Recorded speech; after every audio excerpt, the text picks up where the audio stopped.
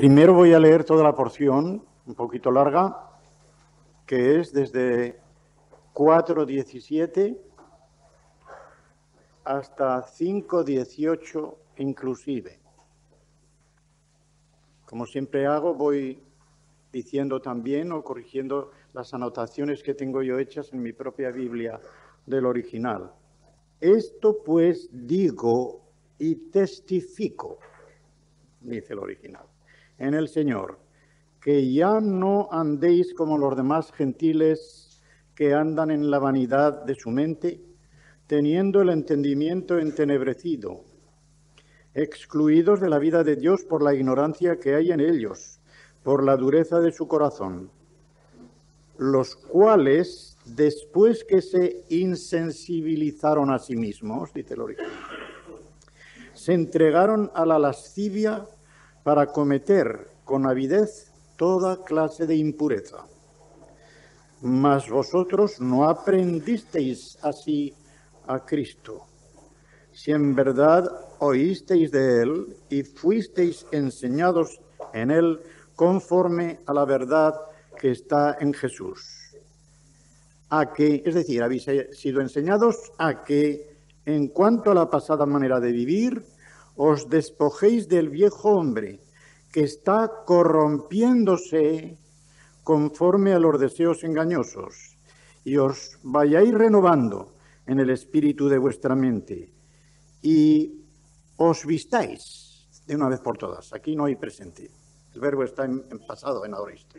Y os vistáis de una vez del nuevo hombre, creado a semejanza de Dios en la justicia y santidad de la verdad. Por lo cual, desechando, dejando a un lado la mentira, hablad verdad cada uno con su prójimo, porque somos miembros los unos de los otros. Airaos y no pequéis, dice el original. No se ponga el sol sobre vuestro enojo, ni deis lugar al diablo. El que hurtaba ya no hurte más, sino que trabaje fatigosamente haciendo con sus manos lo que es bueno, para que tenga, a fin de que tenga para compartir con el que padece necesidad. Ninguna palabra corrompida salga de vuestra boca, sino la que sea buena para satisfacción de la necesidad, a fin de dar gracia a los oyentes. Y no contristéis decir, no entristezcáis al Espíritu Santo de Dios, con el cual fuisteis sellados para el día de la redención. Quítense de vosotros toda amargura, enojo, ira, griterío y maledicencia, y toda malicia, con toda malicia, dice allí, con toda maldad. O sea que hay un con al final que une a todos los demás con él. Antes bien, sed benignos unos con otros, compasivos, perdonándoos unos a otros, haciéndoos los unos a otros la gracia, el favor del perdón, en realidad, como también Dios os hizo esa gracia de perdonaros a vosotros en Cristo.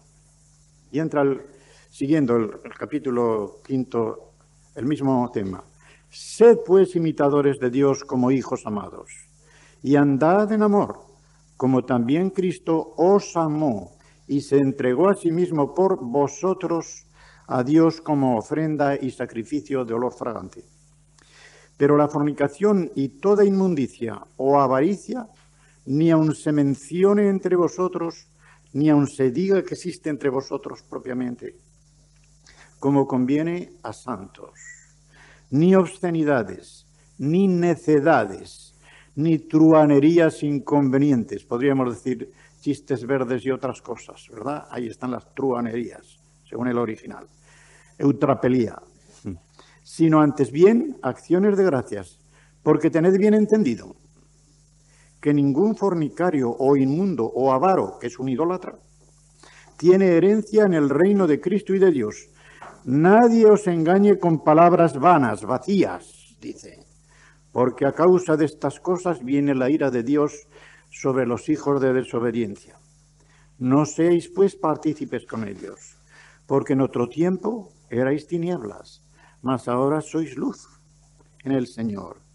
Andad como hijos de luz, porque el fruto de la luz está mucho mejor atestiguado en los manuscritos que del Espíritu, porque el fruto de la luz es en toda bondad, justicia y verdad, comprobando qué es lo agradable al Señor.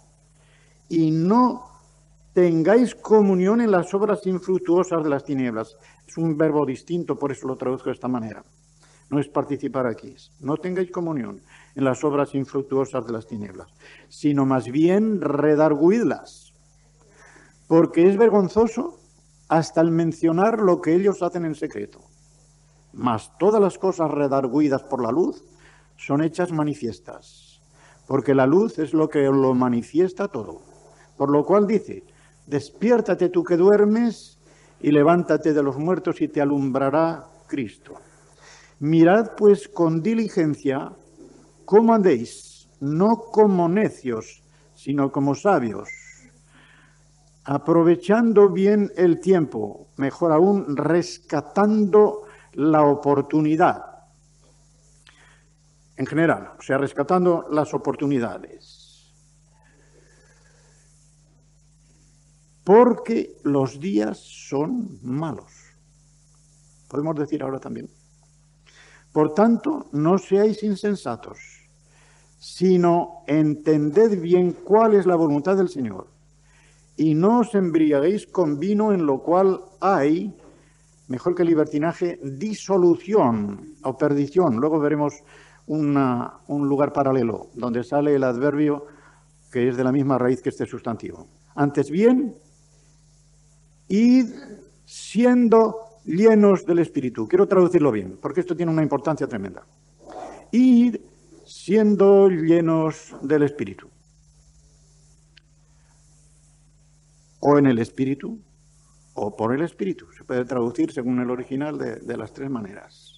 Hasta ahí llegamos, porque aunque yo tenía para el estudio de mañana dos versículos más, en realidad todo lo que viene detrás de este versículo está en gerundio dependiendo de la llenura. Curiosísimo, de modo que, aunque nuestras Biblias dicen las casadas sean sometidas, no, no, no, no dice, sometiéndoos unos a otros, las casadas sometiéndose, eh, todo está en gerundios que emanan de la actitud que se toma en la llenura del Espíritu. Pues bien, hasta ahí la palabra de Dios y antes de entrar en la explicación de ella, voy a dar la división. Son dos estudios. Era el estudio 8 que tenía por título, este estudio 8 llegaba del 4.17 al 5.7, despojarse del hombre viejo y revestirse del nuevo, porque toda esa porción va a eso, a despojarse del hombre viejo y revestirse del nuevo. Y este lo subdividía yo en tres partes. Primero, la situación gentil, que tiene los versículos 17, 18 y 19. Segundo, despojo del hombre viejo, renovación. 4.20 al 5.2. Y tercero, abandonando las obras de las tinieblas, que tiene de los versículos 3 al 7 ya del capítulo 5. Todavía las subdividiré, pero voy a, dar el, el 9, era andando en la luz, del 8 al 20, pero voy a dar del 8 al 18. Para redarguir las tinieblas, versículos 8 al 14, para redimir el tiempo, del 15 al 17, y para ser llenos del Espíritu, que será el versículo 18. Todavía la situación gentil está subdividida. A, la vanidad de la mente, versículo 17. B, la dureza del corazón, versículo 18. C, consecuencia, la vida corrompida, versículo 19. El despojo y la renovación, primero, imitación de Cristo, 4.20 a 24a, es decir, a la primera parte del versículo 24. B, hay una imagen trinitaria en lo que viene, que arranca del Padre, 24b al 27, el Espíritu, del 28 al 30, y el Hijo, 4.31 hasta 5.2. el tercer punto ya he dicho que es abandonando la obra de las tinieblas. Pues bien, hay versículos muy interesantes y muy importantes en esta porción en los cuales me detendré mucho más que en lo demás, porque si explicamos cada palabra, y hay palabras ya muy claras, nos llevaría no solamente hasta, hasta las 10 menos cuarto, que es hasta donde debería llegar, sino hasta las 11 menos cuarto por lo menos. De modo que vamos a ver cómo nos las arreglamos para... El apóstol ha estado explicando la unidad de la Iglesia, en qué se funda y cómo funciona, esquemáticamente. Y ahora, en virtud de la forma en que funciona este organismo, que es el cuerpo de la Iglesia, dice, pues bien, esto pues, digo y testifico, testificar con un requerimiento. Lo hace el Señor porque es el Señor el que lo hace, por boca de Pablo. Que ya no andéis como los gentiles, creo que dice el original, no dice como los demás gentiles, como los gentiles. Ellos son gentiles, los demás gentiles. En otras palabras, ellos han creído ya en el Señor, le han recibido en su corazón. En realidad no puede decirse que son paganos. Ya son cristianos. Y por eso no tiene que decir como los demás, incluyéndolos a ellos, sino como los gentiles, los que no han recibido al Señor, y por lo tanto no han entrado en el cuerpo de la iglesia. Esa es la razón porque el original no dice como los demás gentiles, sino como los gentiles.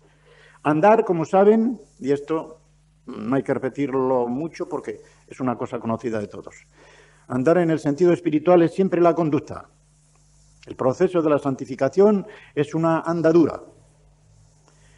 El andar en Cristo, contrapuesto al estar en Cristo, que es propio de la justificación, es donde una persona se une a Cristo y unido a Él anda con Él y en Él. Y dice de los gentiles que estos andan en la vanidad de la mente. Su mente está vacía de todo lo que tiene significado espiritual. Y en esa vaciedad suya, desorientados, sin saber por dónde van, así caminan. De modo que la andadura del inconverso es una andadura que no lleva a ninguna parte, a ninguna parte en el terreno espiritual. Desemboca en el infierno, de modo que a esa parte llega a la muerte segunda. En cambio, el que, el que ha creído, el que se ha entregado al Señor, anda y debe andar en esta forma, con una mente renovada, una mente ya nueva. Y, por eso va a venir la renovación después, el despojo de una cosa y el vestirse de la otra. Y dice que estos tienen, las palabras que van a venir les recordarán, porque son muy similares a Romanos 1, los versículos 20 y 21 teniendo el entendimiento entenebrecido.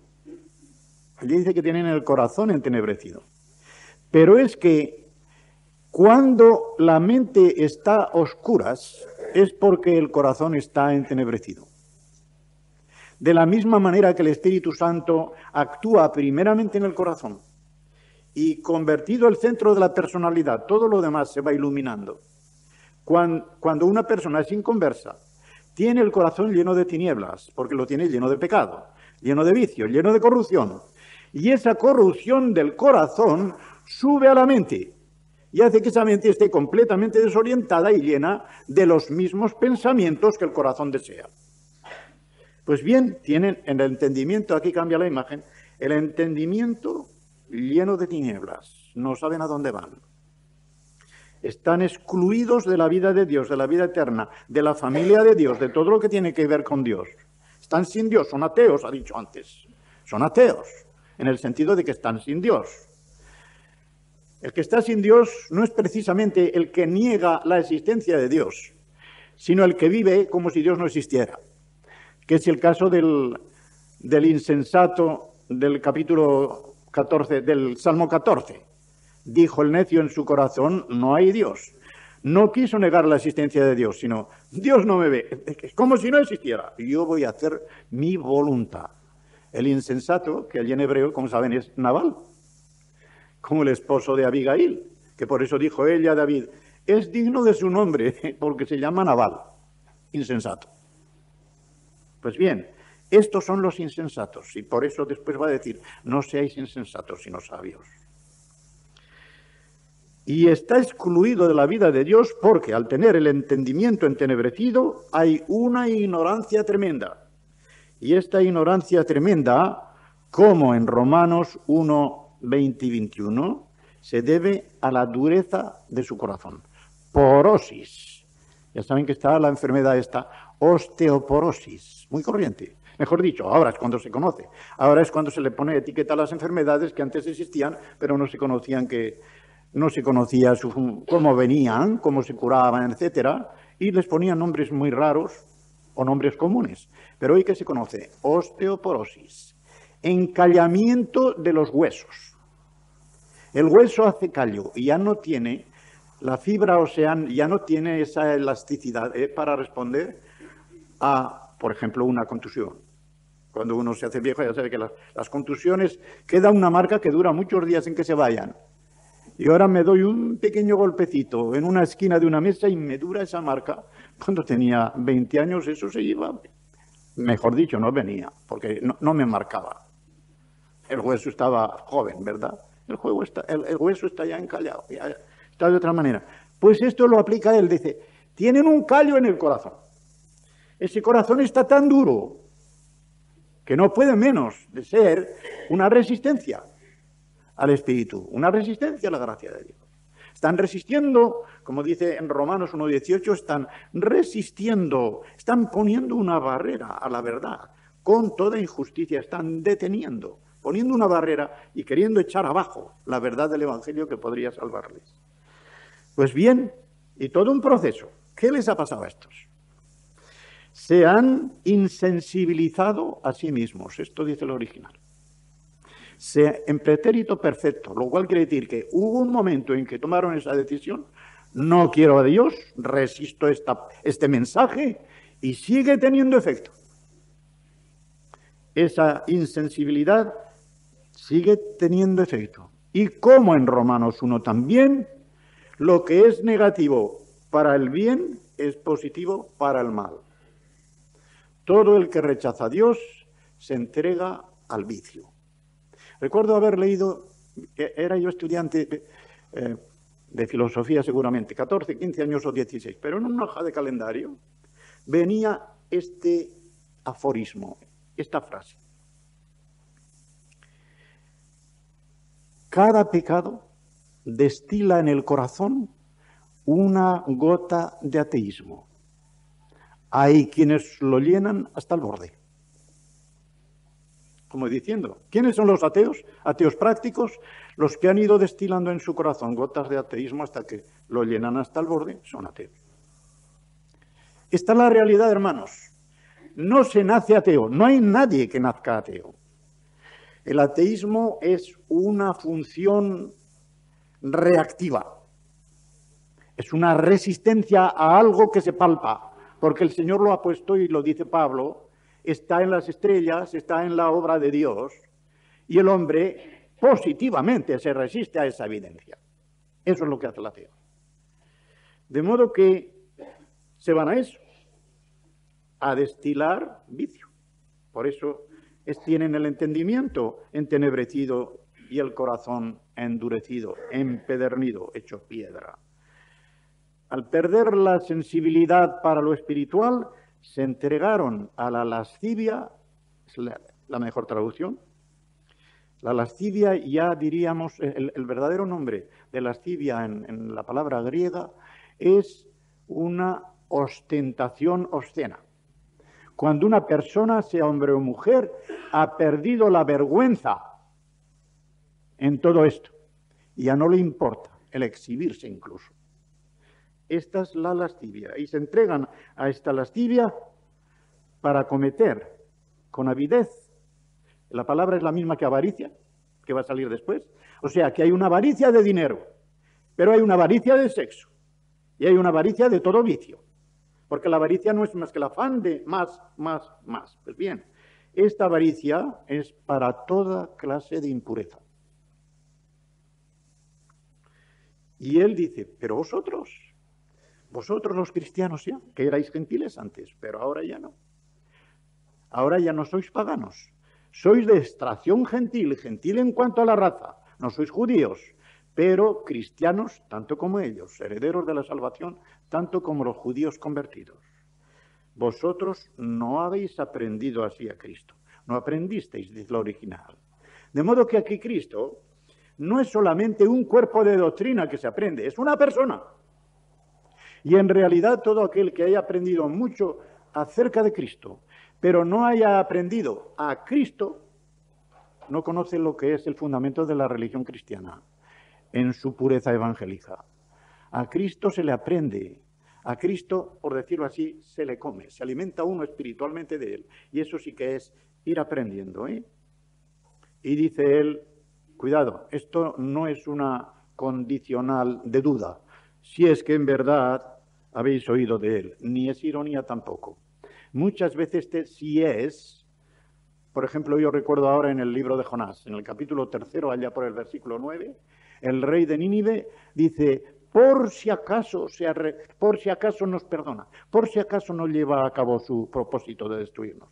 No quiere decir que él dude, sino que él se tiene por tan indigno de un perdón de Dios con lo que ha sido él y la ciudad de Nínive en su conglomerado, que aun conociendo por la predicación misma de Jonás, de que siendo avisado hay un anuncio de perdón, sí, que va a ser perdonado aunque él se tenga por indigno de pecar. Igual aquí, esta condición no es una duda, sino que el apóstol viene a decir, puesto que, puesto que habéis oído de él, y de eso estoy seguro, habéis sido enseñados de él, conforme a la verdad que está en Jesús. Así, así le habéis aprendido. ¿Y qué es lo que habéis aprendido al aprender a Jesús? Pues como quiera que Jesús es el tipo, el modelo y la causa eficiente del hombre nuevo, de la nueva humanidad, que surge del poder de la resurrección de Cristo para ser cuerpo de Cristo, del Cristo cabeza de la iglesia, Cristo resucitado y glorioso, vosotros también tenéis una acción continua, porque iré diciendo lo que es continuo y lo que no es. Tenéis que ir despojándoos del viejo hombre que está corrompiéndose, porque la misma decadencia de nuestro organismo nos dice que hay dentro de nosotros un poder del pecado que es el que en realidad está efectuando esa corrupción del propio organismo físico, porque la muerte física y la corrupción de enfermedad, etcétera, es un efecto del pecado. No quiere decirse con esto que los que estén santificándose a un ritmo muy rápido estén libres de enfermedades y tal, pero que toda corrupción, incluida la física, es efecto del pecado. Del pecado con que hemos nacido y en muchos del pecado que están cometiendo, porque la paga del pecado eso es. El salario con que el diablo paga al que obra el pecado es muerte. En cambio, Dios no da salario, regala al que no trabaja con la vida eterna. Despojándoos, pues, ¿eh? es un presente continuo, de lo, lo mismo que se está corrompiendo, un presente continuo, hay un despojo también continuo. En otras palabras, esta obra de la santificación por la cual vamos atacando al hombre viejo y vamos dando muerte, como dicen romanos, dando muerte a las obras de la carne, eso es una obra continua. En esa no se puede parar. El que cree que ha llegado ya tan alto, que ya tiene que dejar al demonio quieto, hoy se equivoca. En la vida espiritual, el que no avanza retrocede, porque el vicio funciona en un plano inclinado. La virtud es cuesta arriba, porque va en contra de la corriente de nuestra naturaleza humana. De modo que en la virtud hay que ir cuesta arriba, porque el vicio nos lleva en la corriente cuesta abajo. De ahí que deslizarse, como decía yo el otro día, como los peces en la corriente cuando van flotando y van hacia el mar, peces muertos. El que va siguiendo la corriente de este mundo, muerto espiritualmente. El vivo cizaguea como el pez. ¿eh? De modo que esto tiene que ser un proceso continuo. Y renovándose en el espíritu de la mente, en lo que tiene nuestra mente de espiritual, en eso renovándose cada día. Porque el proceso del despojo es a la vez un proceso de indumentaria de nuevo vestimiento. En otras palabras, en la vida espiritual no hay un vacío. No hay una negativa sin una positiva. No hay una cara de la moneda sin la otra. De la misma manera que una moneda tiene dos caras necesariamente, porque no es un plano ni una línea, sino que tiene que ser un sólido, no es una superficie, sino un sólido, hay una cara y otra. Una cara dejando todo lo corrompido y la otra cara necesariamente avanzando por todo lo bueno, por todo lo santo. De la misma manera que cultivando un campo hay que hacer siempre dos labores, estirpar las malas hierbas e ir sembrando lo bueno. Esto es lo que estamos haciendo. Vamos estirpando, vamos dando muerte a las obras de la carne y al mismo tiempo estamos conduciéndonos por, la, por el poder del Espíritu Santo en la renovación continua de nuestro espíritu. Esto lo llama él vestirse del nuevo hombre. Pero este vestimiento está en pasado, ahora esto. Y quiere decir que el acto de vestirse, la decisión de vestirse del hombre nuevo, se tomó de una vez por todas. Pero este vestido que se tomó parece como que va entrando dentro y posesionándose de la persona, para que no sea solo el exterior el que se viste y aparezca en el exterior como que es cristiano, sino que todo su interior se renueve de tal forma que refleje a Cristo en toda su conducta, como lo va a decir al comienzo del, del capítulo quinto. Hay, por lo tanto, este vestimiento que lleva consigo una renovación completa de nuestro espíritu interior y que lleva consigo esa cara negativa de un despojo progresivo del hombre viejo, que no se acaba de, de desvestir. El hombre viejo, como el poder del pecado, no se acaba hasta que no llegamos al final. Y cuando se va la presencia del pecado es cuando se va también el poder del pecado. Pero ya en este mundo tiene que ir siendo contrarrestado, Romanos 6.6, contrarrestado, abolido legalmente y contrarrestado realmente por la fuerza del Espíritu Santo en el proceso de la santificación. Y dice, por lo cual, como diciendo, esta va a ser la manera de despojaros del viejo hombre y de ir vistiéndoos del, nuevo, de ir renovando vuestra mente, desechando la mentira, hablando verdad cada uno con su prójimo. Voy a decir que mentira y verdad en la Biblia no tienen el mismo sentido que les damos en la actualidad. Cuando decimos mentira, todo el mundo entiende decir una mentira, decir una cosa que es falsa. Cuando decimos verdad, pues que dicen algo que es verdadero. En la Biblia no es este el sentido primordial. El sentido primordial de la verdad es que la vida entera de una persona se ajusta a la verdad de Dios en Cristo y en su ley. De modo que en la medida en que una persona cumple la voluntad de Dios, está haciendo la verdad. Y en la medida en que está entregándose al pecado, está haciendo la mentira. De modo que una persona tiene como una incorporación de la mentira y de la verdad según la forma en que se conduce. Se conduce por el pecado, su vida es una mentira se conduce por la, por la virtud, su vida es una verdad. De ahí veréis una cosa que parece un poco rara. Cuando en Apocalipsis 21.8 están allí esa procesión de las ocho categorías de los que van entrando por las puertas del infierno, ¿quiénes la empiezan? Los cobardes y la cierran los mentirosos. Qué cosa más rara. ¿Quiénes son los cobardes? Los que no han tenido el coraje suficiente para dar testimonio del Señor Jesucristo cuando ha venido la persecución. Juan está escribiendo en tiempos de la persecución de Domiciano. ¿Quiénes son los mentirosos? ¿Los que decían mentiritas? No, hombre, no. Aquellos cuya vida era una mentira completa. Y por eso están cerrando la procesión. Como diciendo, todos ellos en realidad son unos mentirosos porque su vida es una mentira completa. Esto para entender, pues, ¿eh? lo que es en realidad la mentira y la verdad. Ahora, eso que es mentira o verdad en el corazón, del corazón sale a la boca. Porque uno que está diciendo mentiras o verdades es porque en su corazón está instalada la mentira o la verdad. Y así, desechando la mentira, hablad verdad, dice. Cada uno con su prójimo. El creyente tiene que ser, por excelencia, el fiable. Aquel de quien su hermano, su hermana, se puede fiar. Y es triste, ¿verdad? Que muchas veces no nos podamos fiar de quienes se llaman hermanos nuestros, hermanas nuestras.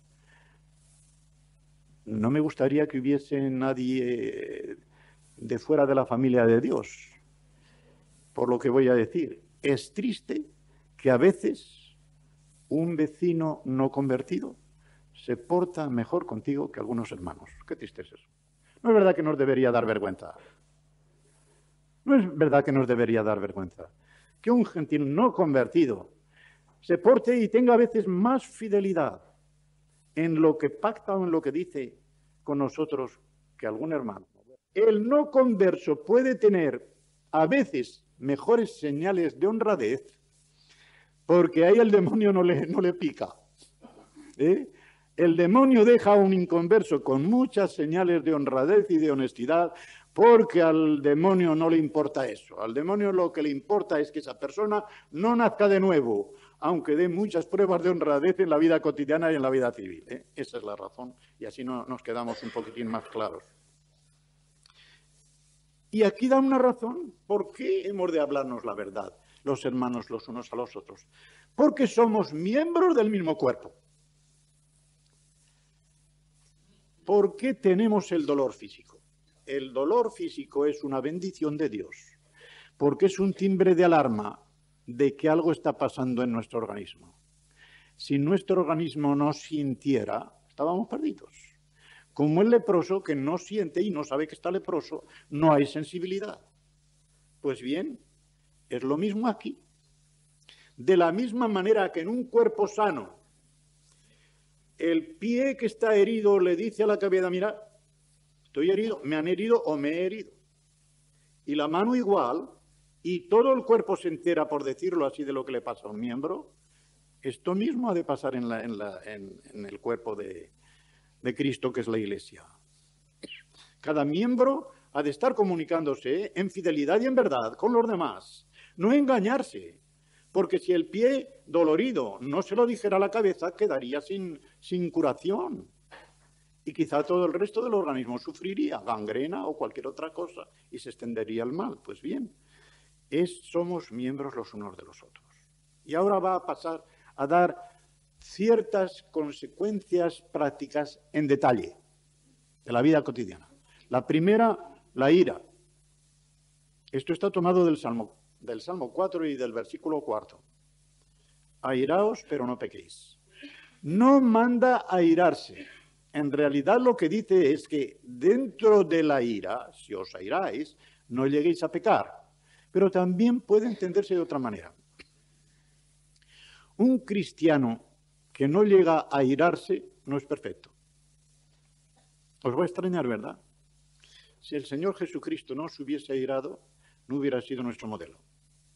El Señor Jesucristo tuvo ternura con publicanos, con prostitutas, tuvo ternura con los débiles, con los que por debilidad caían en el pecado, pero tuvo ira santa contra los hipócritas y contra los fariseos. ¿Eh? De modo que nosotros, imitadores de Cristo, también podemos y en algunas ocasiones debemos airarnos, pero con la ira de Dios, con la ira santa, con la que da coraje para reaccionar contra el pecado y contra el vicio. Pero en esa ira, que sea santa. No pequéis cuando os airéis de esa forma. Eso es lo que viene a decir el apóstol Pablo. Y una, eh, yo comentaba el otro día que esta ira o este enojo no dure hasta después de la puesta del sol. Como sabéis, a la puesta del sol comenzaba el día judío. No comenzaba como nosotros a, las, a la una de la madrugada, a las doce de la madrugada, hasta las doce de la noche. No. Desde la puesta del sol hasta la otra puesta del sol, eso era un día.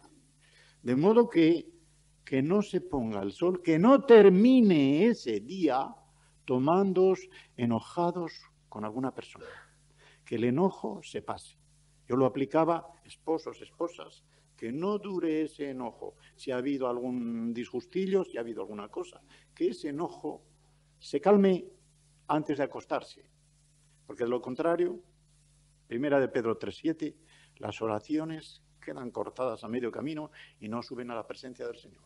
No serán respondidas vuestras oraciones si no os ponéis a bien con vuestros más íntimos, con vuestros familiares e incluso diría yo con todo aquel, ya sea de corazón si no podéis hacerlo ya de palabra, a quien hayáis ofendido o os haya ofendido, ¿eh?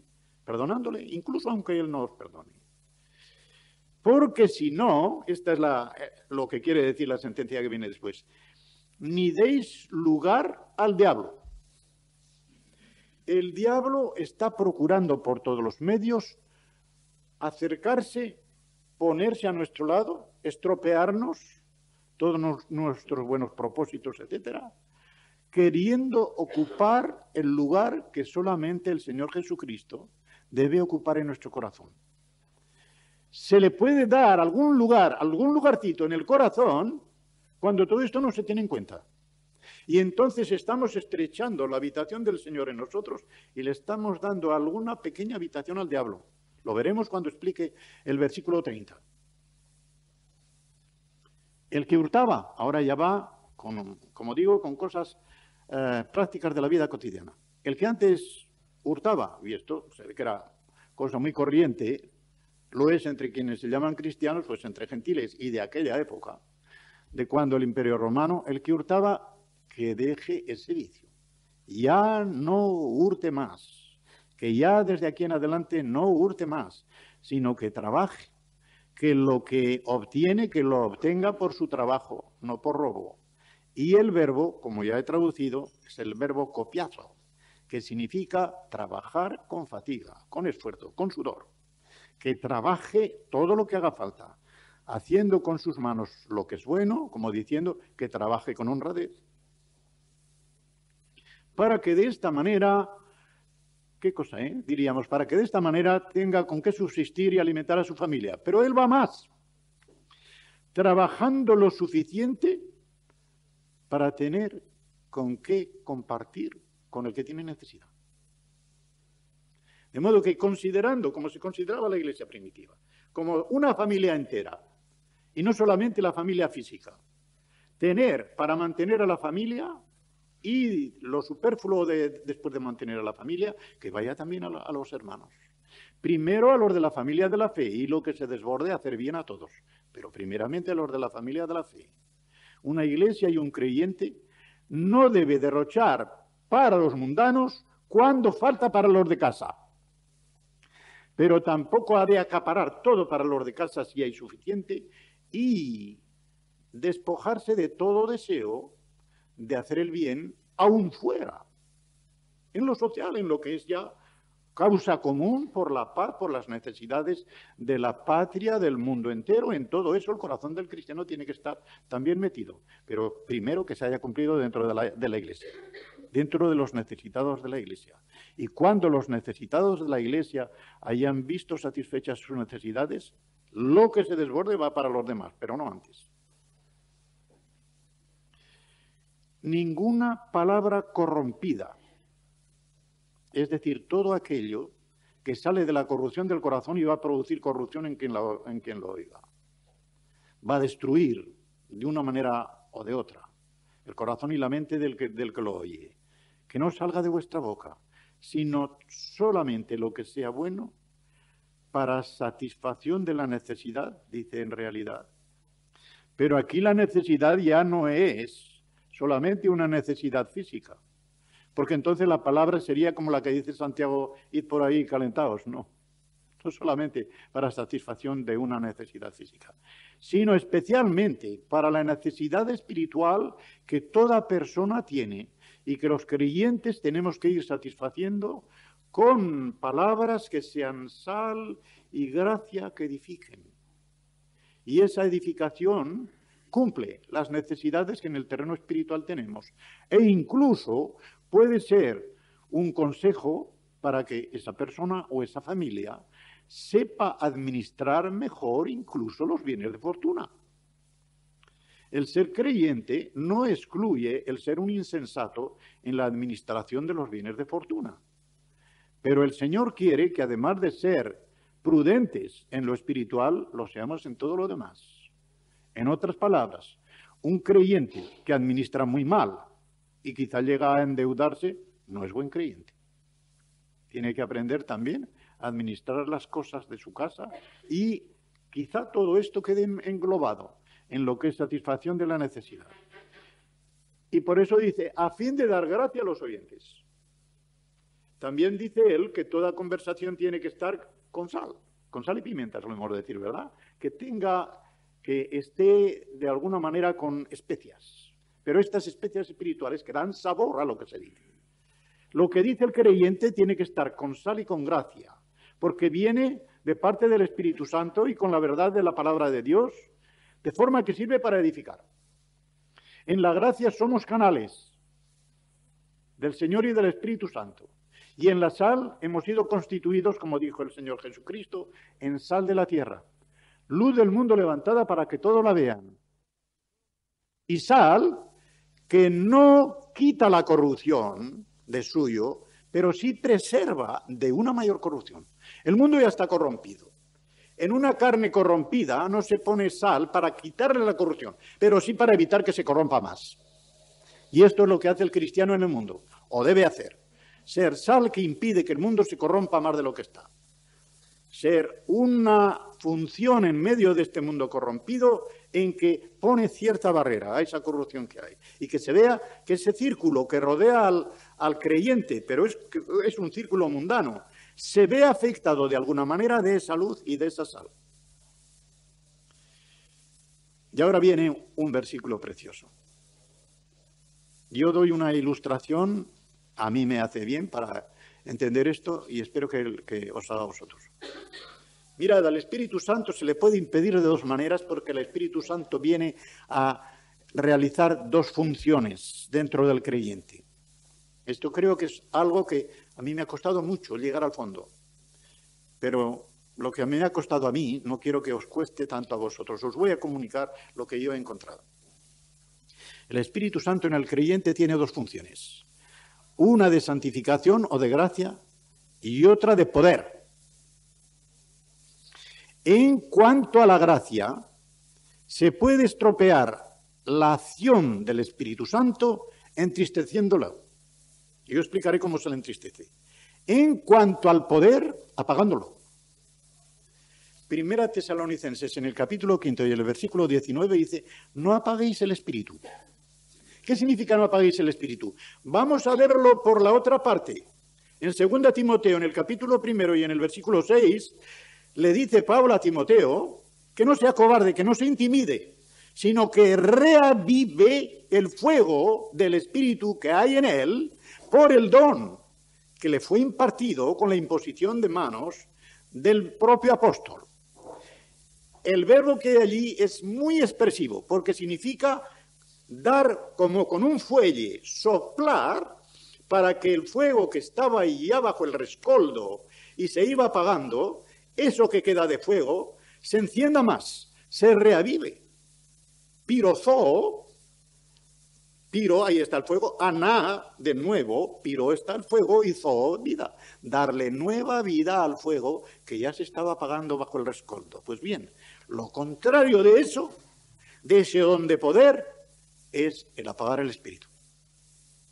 Y por eso él sigue diciendo, no menospreciando las profecías y cosas de esas, todo lo que tiene que ver con el poder. Pero ahora, porque no hemos llegado ahí, vamos a ver lo que significa el contristar al Espíritu. El Espíritu Santo, como digo, viene en nosotros a hacer una obra de gracia. En otras palabras, viene a santificar todo nuestro ser y entra en nuestro corazón para que pueda ser consagrado al Señor. Él hace una obra de artista, ya digamos de pintor o de escultor. Yo digo de pintor porque viene mejor para la ilustración que voy a hacer. Supongamos que vamos a decorar nuestra casa, hay dinero para hacer una buena decoración y para llamar a un buen pintor, y este pintor va pintando, decorando las habitaciones de nuestro piso o de nuestra casa, una por una. Una labor excelente. Bueno, puede haber una labor más excelente que la que el Espíritu Santo, el artista divino, está haciendo en nuestros corazones. No puede haber cosa tal. Cuando la veamos un día diremos, qué maravilla. ¿Y por qué entristecía yo al Espíritu Santo? ¿Por qué impedía yo su obra? Cuando nosotros estropeamos esa obra que el Espíritu va haciendo, como si con un caldero lleno de barro, ¡plá! Y otra, y otra, y otra. Cada pecado que el creyente comete es una pellada de barro que echa a la obra decoradora del Espíritu. ese artista divino que viene con esa buena intención de decorar nuestra casa, nuestro corazón y hacerlo hermoso para el Señor, se vuelve a nosotros y dice, pero hijo mío, ¿qué estás haciendo? Estoy hermoseando tu casa y tú me la estás ensuciando. Ni más ni menos. Esto es entristecer al Espíritu Santo. Se entristece porque le estamos impidiendo en realidad esa obra tan maravillosa de decoración de nuestra casa. Y dice, fijaos bien que ese Espíritu Santo es el que os ha sellado. Ha puesto la garantía, el sello de Dios Padre con la imagen del Hijo, de que sois suyos y que por lo tanto tenéis asegurada vuestra salvación en el día de la redención. ¿Cuál es el día de la redención puesto aquí en futuro? Pues el día en que el Espíritu Santo dará el último toque en esa obra y seremos o transformados o resucitados y se acabó. De modo que la redención como la santificación tienen tres estadios. El inicial que coincide con la justificación, el progresivo que coincide con la santificación y este que coincide con la glorificación. En el día de la glorificación que nos hará el Señor, el Espíritu Santo habrá dado el último toque. Y ese es el día de la redención, porque ese es el día en que el pago de nuestra compra habrá sido liquidado no solamente en cuanto a nuestras culpas, cancelada la deuda de la culpa, sino toda la escoria y todo lo malo que había en nosotros habrá sido estirpado. De modo que ese es el día de la redención. Sigue diciendo, quítense de vosotros y pone otra lista. Toda amargura, es decir, esas palabras que hieren y que las decimos para que hieran, parece que no tienen un sentido malo. A veces solamente el gesto o el tono nos dan la medida de esa amargura. Pero ¿cuánto hieren, verdad? ¿Cuánto hieren a veces? Si eh, no es lo que me ha dicho, es la forma con que me lo ha dicho. Decimos, la forma, ¿eh? Pues bien, que se acabe todo eso, todas esas amarguras en nuestro trato. Enojo, ira, el enojo es una palabra en el griego que es la espuma de la ira. En otras palabras, la ira es un sentimiento, el enojo es una pasión. Es como el ápice de un eh, corazón que está enojado continuamente y estalla en un momento de pasión. Enojo, ira, griterío, eso todo el mundo lo sabemos, ¿verdad? Cuando uno en una discusión se sube, se sube a palabras más hartas que otras que dicen los gitanos, ¿eh? una palabra más harta que otra, ¿eh? ya se va poniendo aquello, aquello, aquello, de la palabra harta se va al tortazo, ¿no? Pues el, el griterío va a esto, ¿eh? No gritéis, no gritéis entre vosotros porque a qué vais a llegar. Y luego, por maledicencia, dice blasfemia. La gente cree que blasfemia es solamente decir palabras insultantes contra Dios contra la Virgen y los santos, no. La palabra blasfemia significa simplemente hablar mal. Hablar mal. Y cuando se habla mal de Dios, se blasfema. Cuando se habla mal de otros, de alguna manera se blasfema. Esto es lo que quería decir aquí. La maledicencia. No hablar el mal. Y no hablar mal. Y, como he dicho antes, todo está unido con la malicia. Por el contrario, en vez de airarse y de saltarse los unos contra los otros y hasta llegar a las manos quitadas, benignos.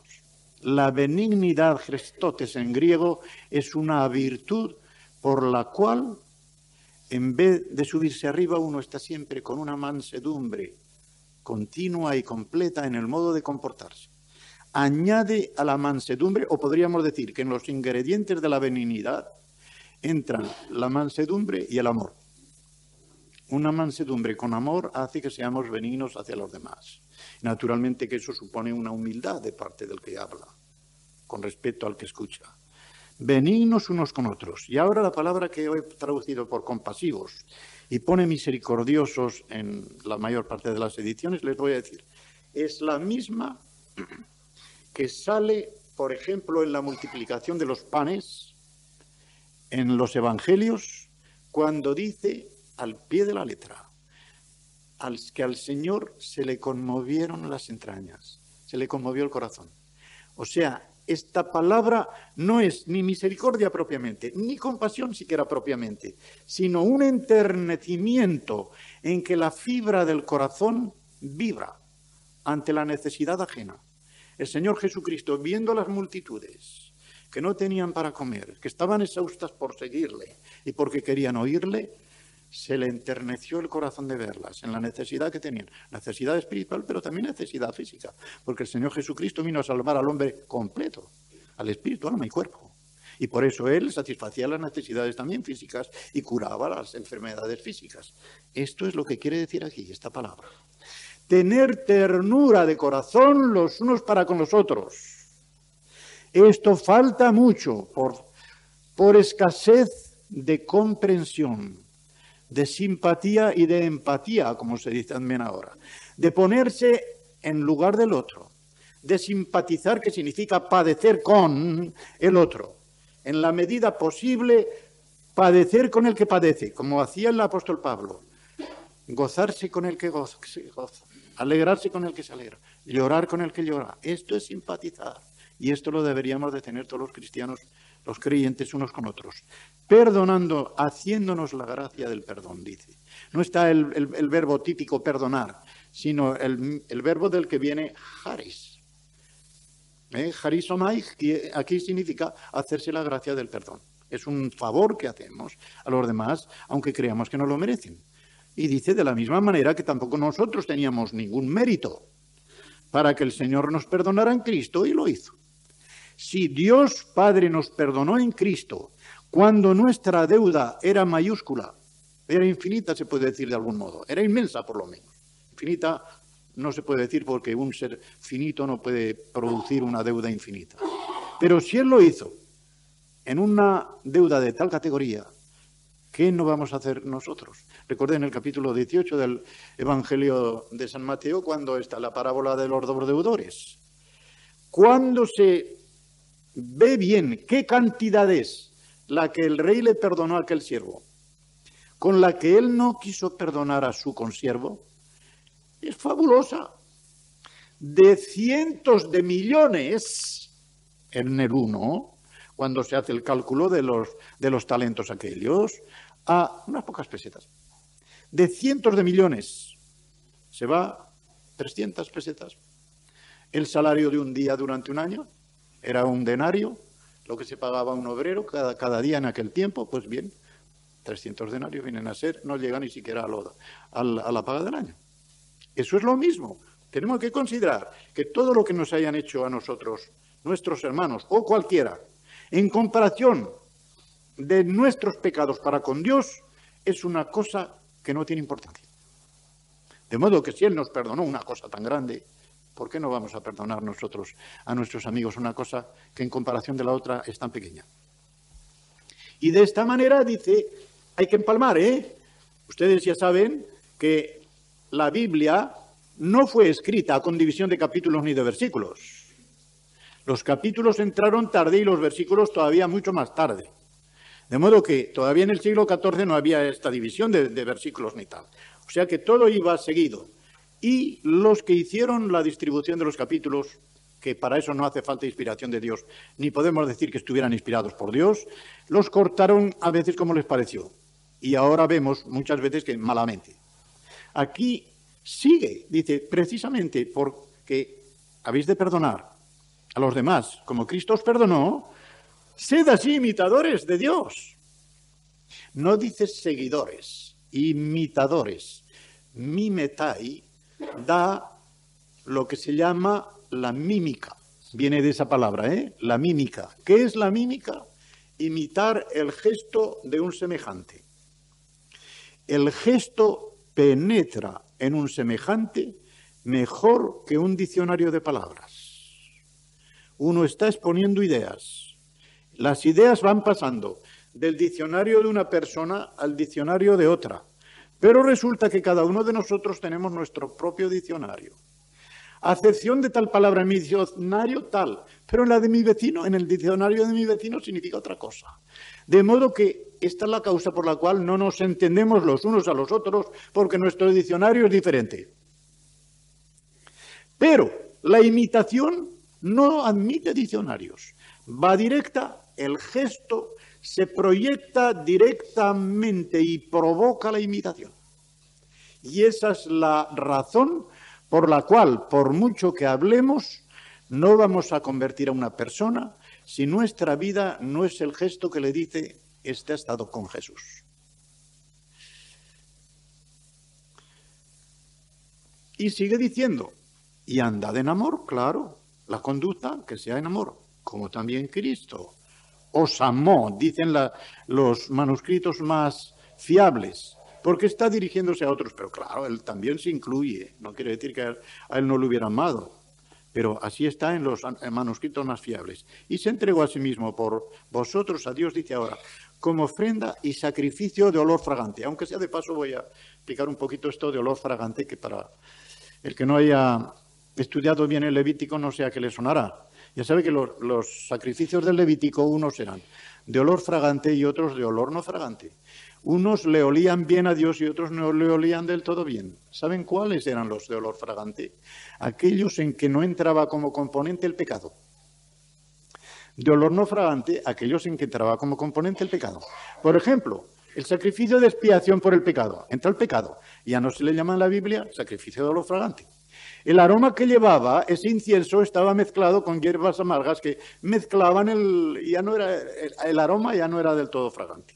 Sin embargo, aquí, teniendo en cuenta que el Señor Jesucristo ofreció por nosotros no solamente holocausto, sino sacrificio de expiación por el pecado, todo ello llama ofrenda y sacrificio de olor fragante. ¿Por qué?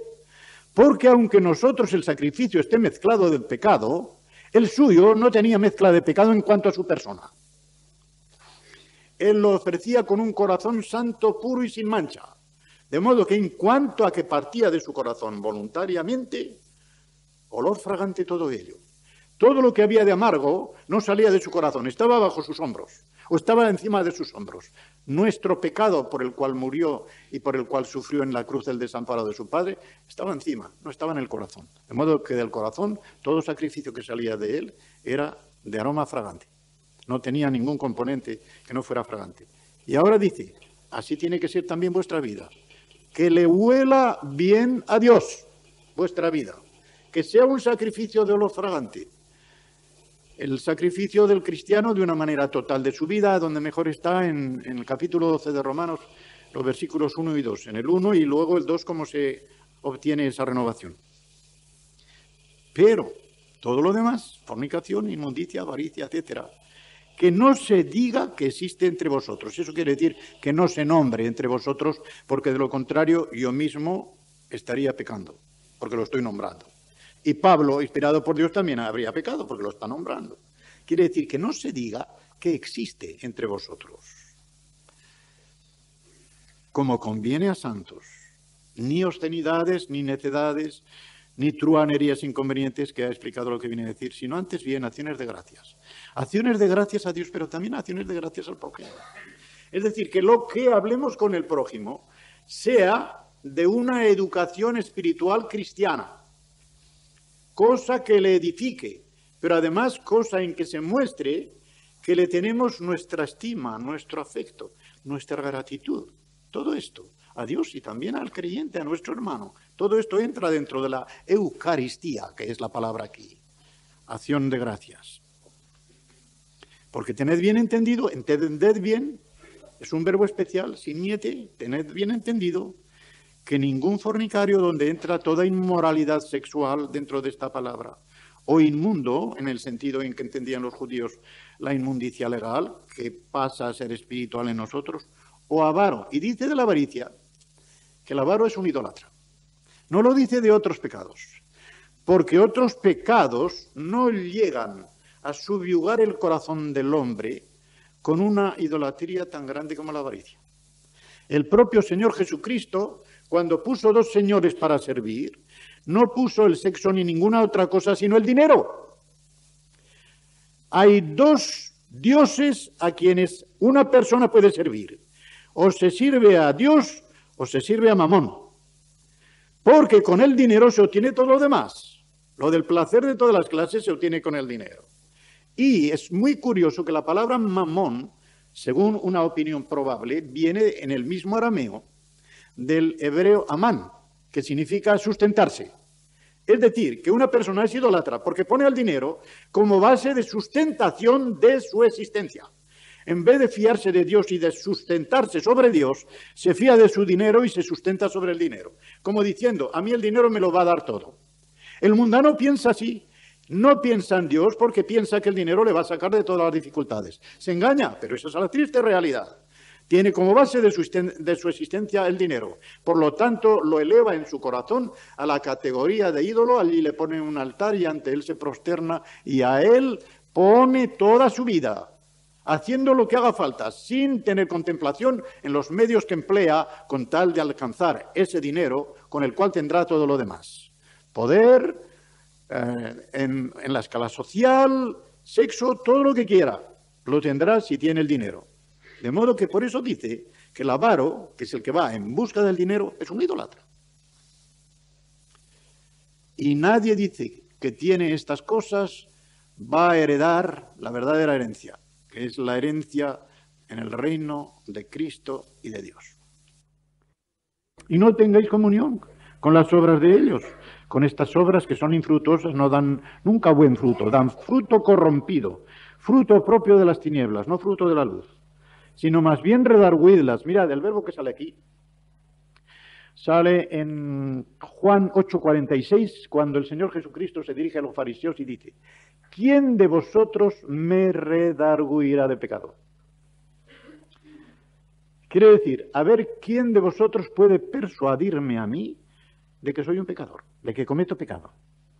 Redarguir, pues, es persuadir y convencer a una persona de que está haciendo un mal. Como estas obras son malas, dice, en vez de practicarlas, redarguidlas. Que vuestra propia conducta y vuestro modo de hablar sea una reprensión viva del mal que se realiza delante de vosotros. Redarguid esas obras. Persuadid a los que las hacen de que están haciendo el mal. Que ellos lleguen algún día quizá a convencerse de que es malo lo que están haciendo. Porque dice, es vergonzoso Incluso el mencionar da vergüenza lo que hacen en secreto. A los españoles se les ha quitado legalmente la vergüenza de que el diccionario, desde que el diccionario de la Real Academia incorporó a su vocabulario todo el vocabulario secreto de Camilo José Cela. Eso en paréntesis. De modo que ya cualquiera puede decir una palabrota y puede responder, ah, no, esto ya no es palabrota. Cuidado que está ya admitido por la Real Academia de la Lengua, la cual tiene por oficio limpiar, fijar y dar esplendor. Hay cosas a las que por mucho que se limpien siempre siguen sucias, de modo que la Academia en eso no ha hecho un acto de limpieza, sino de porquería. Bueno, que me perdone si hay algún académico aquí. ¿eh? Si es de número, claro. Pues bien, Redarguirlas porque es vergonzoso incluso el mencionar. Mas todas las cosas que se redarguyen y queda una persuasión salen de la oscuridad a la luz, dice él. Son hechas manifiestas, ¿se ven? ¿Se ven? Porque la luz es la que lo manifiesta todo. Qué bien. Hay una cosa en un escondite, una buena lámpara con su foco y allí se encuentra personas que están en la oscuridad y en los escondites, en cuanto pasa incluso el foco de un, coche, los focos de un coche, ¿verdad? Ah, cesan de hacer cosas que estarían haciendo malas, porque la luz los redarguye. Demuestran que están haciendo algo vergonzoso cuando ante la luz cesan, ¿no? Esto es una ilustración también. La luz es la que lo manifiesta todo. Y por eso dice, Despiértate tú que duermes, levántate de los muertos, te alumbrará Cristo. Y ahora mirad, sed diligentes en ver cómo andáis, cómo os conducís. No como necios, está la palabra allí, asofoi, sino sofoi. A, cuando se ve una A delante de esto, significa sin. Asofoi, sin sabiduría, sofoi, sabios. ¿eh? Aprovechando bien el tiempo, rescatando la oportunidad, he dicho, y cómo corre el reloj, porque yo esto quiero explicarlo como el, el versículo 18 tan importante. Mirad, si no me regañáis por alargarme un poco en esto, pero esto es muy importante. Lo que quiere decir aquí Pablo es lo siguiente. La oportunidad, porque aquí no quiere decir el tiempo del reloj, sino las oportunidades que uno tiene, kairos en griego, no cronos, son todas esas oportunidades que a veces dejamos pasar y, y que la vida nos presenta para hacer el bien. Esas oportunidades, Pablo las considera como personalizándolas como dentro del mercado de esclavos, de donde las puede sacar el diablo o las podemos sacar nosotros si, si actuamos según Dios. Esa oportunidad es como un punto puesto allí dentro del tiempo y que van pasando de vez en cuando, y esa oportunidad puede llegar el diablo y por medio de un malvado aprovecharla. ¿Para qué? Para el mal. Y él dice, no, esas oportunidades no dejéis que las aproveche el diablo. Aprovechadla vosotros. Y el verbo dice, comprándolas, rescatándolas y sacándolas del mercado de esclavos del demonio. Ahí están puestas en medio del mal. Pero vosotros, el rescatar el tiempo o redimirlo no es sino sacar esas unidades de tiempo que son oportunidades de ese mercado de esclavos y hacer que sean libres. Darles un valor, de cristiandad, darles un valor de vida espiritual. Esto es lo que significa. Aprovechad, no dejéis pasar ninguna oportunidad, porque mirad, lo habréis leído en, algún punto, pero es una cosa digna de pensarse mucho. La oportunidad que pasa no vuelve más. Podrá volver otra semejante, pero aquella que perdiste no volverá más. Habéis oído esta frase, que es frase clásica de los griegos, la ocasión la pintan calva, ¿sabéis dónde se originó esto y por qué? Porque la, la, eh, la ocasión la ponían como una diosa, porque todo lo divinizaban los griegos como los romanos, que llevaba un cabello muy largo para darle hermosura. Pero ese cabello, en vez de, llevarlo largo sobre el cuello y las espaldas, lo llevaba recogido y sobre la cara, de tal forma que hasta que no se presentaba a esta diosa, no se la reconocía y había que tirarle del cabello para verle la cara y ver quién era. Porque esto, cuando ya se había pasado, calva, todo el pelo estaba sobre la cara, ya no estaba sobre las espaldas. De modo que cuando ha pasado la ocasión ya no se puede tomar porque es calvado. ¿eh? La ocasión solamente se podía tomar en el momento de pasar. Agarrándola del pelo tú no te vas. Yo te aprovecho. ¿eh? Este, es el, este origen de, la frase esa, la ocasión la pintan calva. Si les puede aprovechar para saber cómo se va a presentar una oportunidad y que hay que aprovecharla. Por tanto, no seáis insensatos, sino entendidos, entendiendo bien cuál es la voluntad del Señor. Y ahora viene el versículo con que voy a terminar y que tiene la importancia mayor de, toda, de, toda esta porción. Y según decíamos, me preguntaba ayer un hermano, si quisiera decir, ¿qué versículo o versículos cree usted que son los principales de esta? Hombre, es muy difícil. Pero yo pondría el versículo 23 del capítulo primero como abriendo el campo para toda la epístola y este como cerrándola. Todo lo demás que viene es consecuencia de la llenura del Espíritu. Todo lo que viene. Y en medio está la salvación de gracia por medio de la fe. ¿eh? Los tres versículos más importantes de toda esta carta, epístola a los Efesios, son esos. 1.23, 2.8, 5.18. Y ahora viene algo muy importante porque se trata de dos intoxicaciones, o mejor dicho, de dos fuerzas que controlan al hombre. Y conociéndolo a una, vamos a entender de alguna manera la otra. Yo digo, ya casi no, no es chiste, pero es un juego de palabras. El espíritu divino o el espíritu divino. ¿Cuál de los dos es el que, el que se apodera de ti? El espíritu de vino, que así se llama, bebidas espirituosas, se dice, llevan espíritu, claro. Embriaga, ¿para qué? Para perdición. La palabra que hay aquí para libertinaje que es perdición. Asotía es de la misma raíz que en el capítulo 15 de Lucas, cuando dice que el hijo pródigo vivió perdidamente, asotos. La misma perdición que fue para él el gastar todo su dinero, como dijo con verdad su hermano, con rameras, toda aquella hacienda que el padre le dio, la, gastó vergonzosamente, perdidamente, destruyéndose hasta que volvió en sí y fue él mismo. Aquí es igual. La borrachera, la embriaguez del vino no lleva a ninguna cosa buena. El vino, y que quede esto bien claro porque esto es bíblico y lo defiendo delante de quien sea, el vino es una cosa buena. Si no fuera una cosa buena, el Señor Jesucristo no se habría permitido hacer nada menos que el primer milagro, convirtiendo el agua en vino, y no dice zumo de uvano, el original dice vino, vino, vino, vino. Y cuando ya habían bebido algo y había peligro de que se alegraran, ¿eh? convirtió el agua en vino. Puede decir alguien que el vino es malo. El vino, como todas las demás cosas de este mundo, es neutro. Puede ser tu amo o tu esclavo. El creyente tiene que tener todas las cosas bajo los pies, dominadas por él, que no sean nunca su dueño, pero pueden ser buen esclavo. Y a Timoteo qué buen esclavo fui, porque le curaba las enfermedades del estómago. Y a mí también me cura algo del estómago, que también tengo bastante de la enfermedad de Timoteo.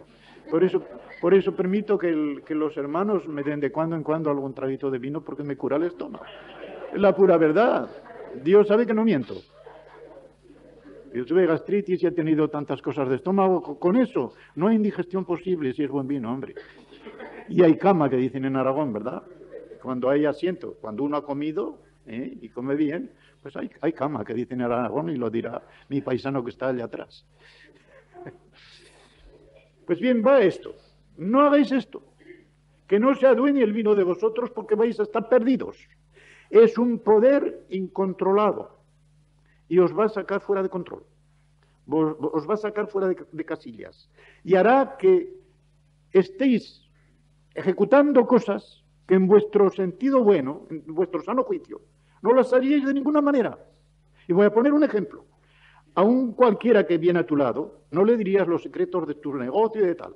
El que se emborracha lo dice todo. Pero eso dicen que en el vino está la verdad.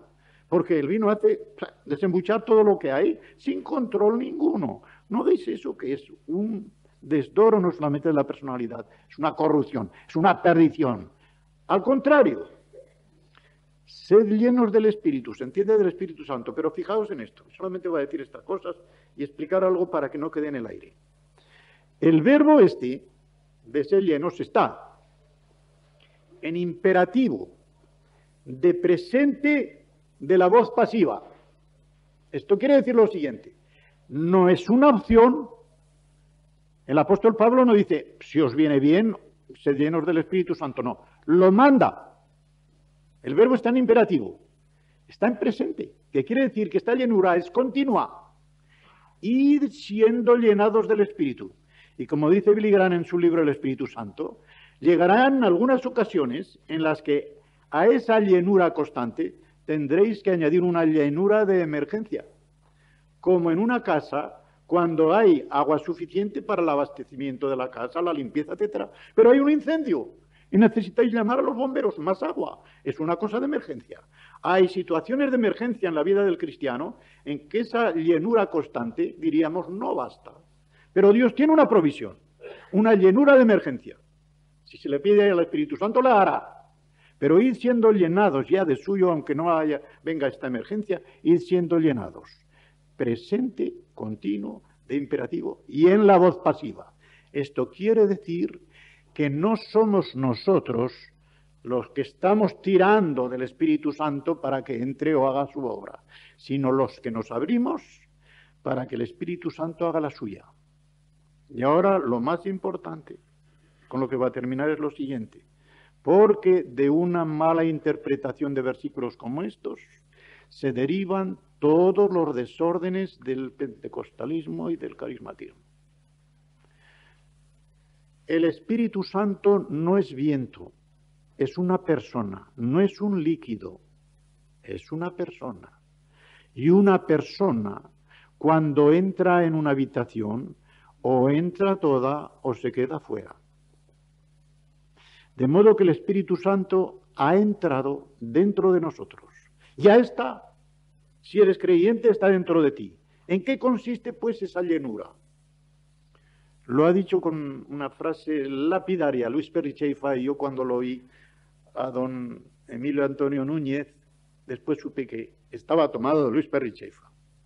Dice, la llenura del Espíritu no consiste en que nosotros tomemos más y más del Espíritu, sino que permitamos al Espíritu tomar más y más de nosotros. Esto es la, forma más clara de expresar lo que significa esta llenura. No es que nosotros tengamos que estar tomando más y más del Espíritu ni con gestos, ni con aspavientos, ni con ninguna cosa, sino dejarnos a nosotros que el Espíritu tome más y más de nosotros. Porque la única cosa que le hacemos al Espíritu entristecer es cuando no nos entregamos del todo. Cuando le decimos, mira, tú ya tienes la habitación de huéspedes y la hemos arreglado la mejor, pero en la cocina no te metes. La cocina me la reservo yo. Y sobre todo si es mujer, y algunas dicen, los hombres no entran aquí. ¿eh? Esto es, este es el apartamento de las mujeres. Pues bien, no hay cocina que valga. Cuando el Espíritu Santo entra dentro de nosotros, entra para habitar toda nuestra casa. Y es que si no la habita toda, no la va a, consagrar toda. Va a dejar algo sin consagrar. Y eso que se queda sin consagrar y que a veces lo dejamos sin consagrar porque le ponemos una barrera al Espíritu Santo, eso es una cosa profana. Ahí, si no está el Espíritu Santo, habrá un ídolo. Le habremos puesto un altarcito en un recoveco del corazón y ahí tenemos un ídolo. Lo llamemos como lo llamemos ídolo de carne, de dinero, de papel moneda, de lo que sea, pero es un ídolo que está haciendo obstrucción al Espíritu Santo. Y eso es lo que impide el ser llenos del Espíritu Santo. Pero en el momento en que nosotros nos abrimos totalmente y le decimos, Espíritu Santo, eres Dios y Señor, como el Padre y el Hijo. Sé que estás dentro de mí porque tengo la conciencia de que soy salvo y he nacido de nuevo. Pues ahora, como buen creyente, yo te pido que tomes posesión de toda mi casa. De la misma manera que a un amigo, a un hermano se le dice, ha entrado usted en su casa. Al Espíritu Santo, Señor, estás en tu casa y hazte Señor de esta casa. Quiera yo o no quiera, me resista o yo no me resista de alguna manera, si hace falta violentamente, con una, disciplina drástica, hazte Señor de esta casa que es mi corazón. Y que no haya en mi corazón ningún recoveco que no esté entregado a ti, para que lo santifiques, lo consagres y de esta manera me hagas cada día más semejante a la imagen del primogénito nuestro, que es el Señor Jesucristo, y siendo conformes a la imagen de Cristo, seremos conformes a la imagen de Dios. Que el Señor nos bendiga y nos dé esta disposición. No es más que disposición de abrirnos al Espíritu.